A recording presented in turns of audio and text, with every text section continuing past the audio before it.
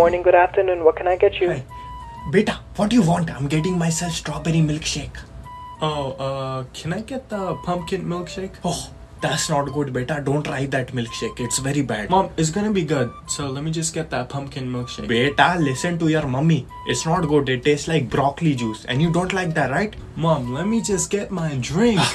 Okay, beta. Stop yelling at mama. I will order it. Hi, uh.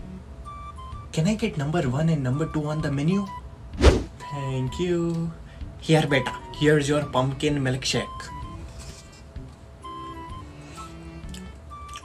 It's actually good, Mom. I told you it's gonna be good, but you never listen to me.